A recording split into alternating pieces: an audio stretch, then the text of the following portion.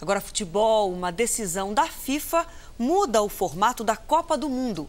A partir de 2026, o torneio estará recheado de seleções. São mais chances para países da África e da Ásia.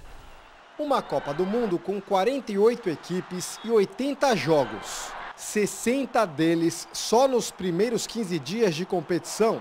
O novo formato, aprovado pela FIFA hoje, só vale a partir do Mundial de 2026, ainda sem sede definida. Com o aumento do número de vagas, seleções de pouca tradição da Ásia e da África também vão poder jogar uma Copa. Futebol é mais do que apenas Europa e América do Sul, declarou o presidente da FIFA, Gianni Infantino. A FIFA abre as portas para o mercado global de olho no lucro. Com mais seleções participando, a entidade já prevê um faturamento de quase um bilhão de dólares com a venda de ingressos, direitos de transmissão e marketing.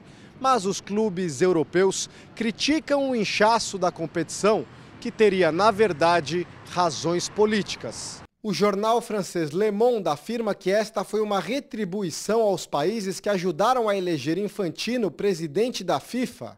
O espanhol Marca fala em Mundial dos Pobres, em referência aos países que agora podem se classificar. Mas grandes estrelas do futebol aprovaram a ideia.